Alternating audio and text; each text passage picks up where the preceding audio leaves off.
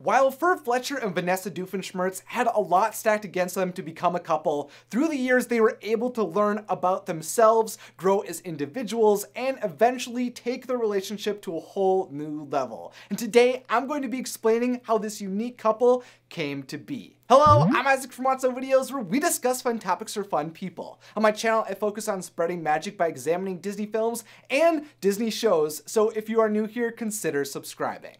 Sometimes a single mundane moment can transform into a surreal, fantastical, and life-changing occasion in a flash, and this is what happened to Ferb when he first met Vanessa. On a typical summer day in the tri-state area with plans to build the largest ice cream sundae ever, Ferb is tasked to go to Blueprint Heaven to pick up the plans for the giant ice cream maker. At the same time, Vanessa was instructed by her father to retrieve the plans to a space lasinator, and it is here where they first come into contact with one another. For Ferb, seeing Vanessa absolutely took him aback as he plunged into seeing her in a short sequence of colors, flowers, and music, which left him dazed and in a state where he grabbed the wrong plans. What happened back there? I was weak. While Vanessa seems to not think much of the interaction, Ferb felt he had met a gorgeous girl of his dreams in an unforgettable fantasy sequence. Ferb couldn't ignore that meeting and was sure that when they met again, he'd impress her, even if she was 16 while he was definitely younger than that. So when Phineas and his baseball launcher knocked Meep out of space and Ferb is tasked to fix and renovate the alien ship, he knew this alien rider from outer space deserved a test drive. Ferb ripped across the sky in that ship until he sees Vanessa, backs up and gives her quite a look, which she seems fairly pleased by. Yo, digging my ride from outer space.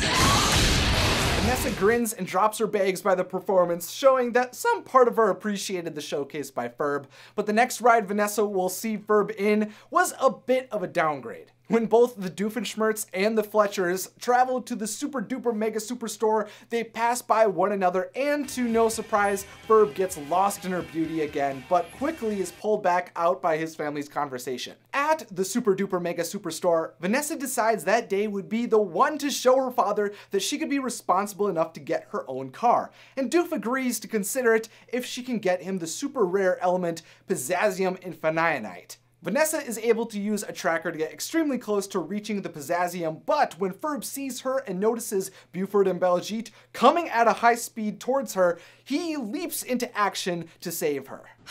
Look, thanks for your help, but I can do this on my own, okay?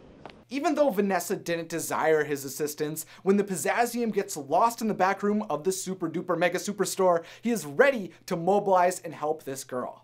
Ferb saves her from falling, jumps after the element, uses his tools to make the journey easier, and backs her up on her solo song on the guitar. But even with Ferb's support, the job to get the Pizzazium doesn't get much easier until it finally falls into a ball pit. Your name is Ferb?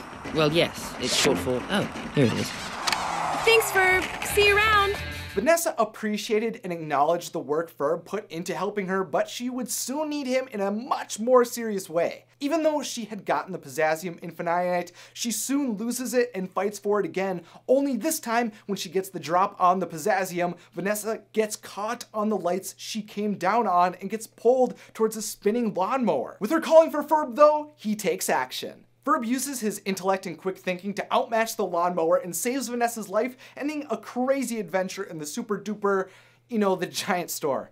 Well, Ferb, you certainly know how to show a girl a good time. And he even gets the Pizzazium to her father, even though Perry the Platypus foils that plot soon after. Perry the Platypus. Vanessa is still appreciative of Ferb's assistance and the fun they had regardless of whether she proved how responsible she was throughout the day. And for all of that, oh, she oh, yeah. gives him a kiss Thanks. that blows his mind and shows him that being kind, helpful, and supportive was a way to be a part of Vanessa's life. The next time Vanessa sees Ferb though, he's not helping her but is just passing by for she's running after her Mary MacGuffin doll while Phineas and Ferb are coming to the house of Vanessa's mother to see if she knows anything about Candace's Mary MacGuffin doll. They're all just in a crazy search for the same toy. But even though Ferb and Vanessa's encounter was brief, this is the first time Ferb meets Charlene, and pretty soon, Vanessa and Ferb would be able to connect more. When Phineas and Ferb decide to have the longest summer day ever, they determine they will travel around the world with their friends at the same speed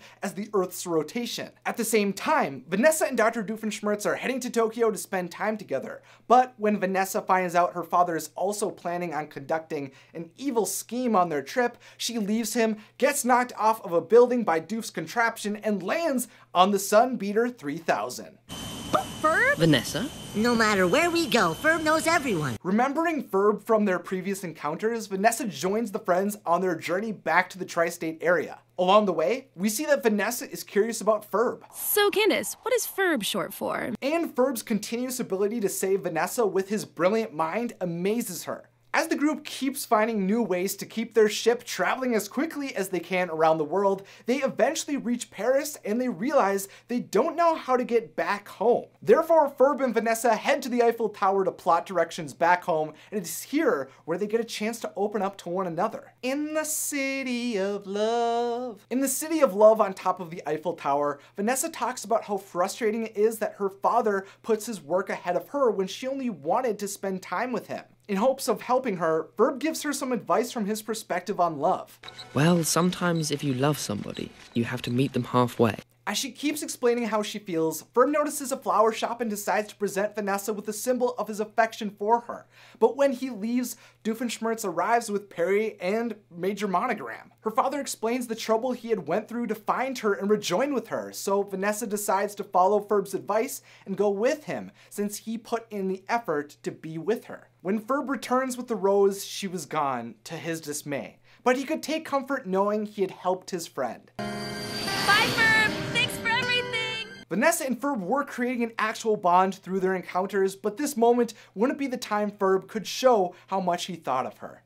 At the very least, Ferb did get the data they needed to go home, and after regrouping with his friends, Phineas is shocked Vanessa left him. A boy, a girl, alone in the city of love? I thought romance was a foregone conclusion. Although Vanessa and Ferb were many years off from the romantic life Phineas described, the growing friendship between them is showcased again in the big musical number Carpe Diem at the end of the roller coaster musical when Vanessa is invited to come and dance with Ferb. And when Vanessa is excited to see Ferb when her father's latest inator is wreaking havoc on the tri state area by creating zombies. Candace? Phineas! Candace! Isabella! Ferb! Luckily, through the heroic action of Phineas, Ferb, Vanessa, and the rest of their pals, they are able to stop Dr. Doof's crazy zombie making machine, which impresses Vanessa again.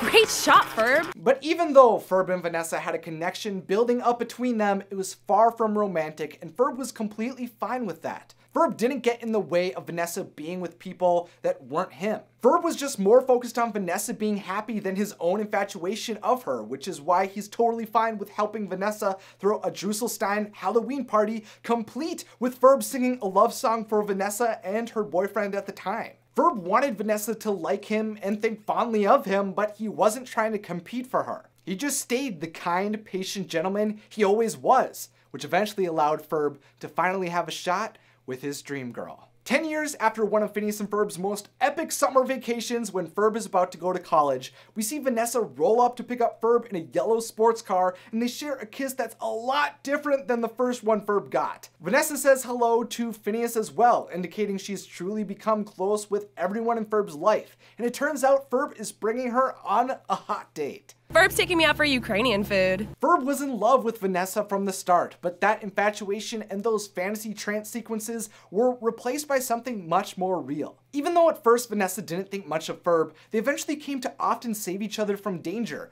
open up about their feelings, and help and support one another in whatever situation they were in, even if that meant they were helping the other be with someone else. Both of them were responsible and had good intentions when they were with one another. So when they both grew up, their age gap decreased in meaning and they became even closer. The friendship they formed became romantic. But now I'd love to hear your thoughts. Were you happy that Ferb and Vanessa were shown to eventually end up together? Let me know in the comments along with any other ideas you have for future Phineas and Ferb videos. Through my excitement for Tangled the series, I've been fixating on Disney Channel a lot recently, which is why I've been realizing that Phineas and Ferb would be an extremely fun canon to explore more. So if you'd like to see more videos like this, such as my next video, which will be the complete backstory of Dr. Doofenshmirtz, make sure to subscribe and to click the beautiful bell if you're new. Also, make sure to follow me on Instagram at Wotso Videos so we can keep having more magical discussions all of the time. And thank you to my wonderful patrons over on Patreon who are amazing supporters of my videos.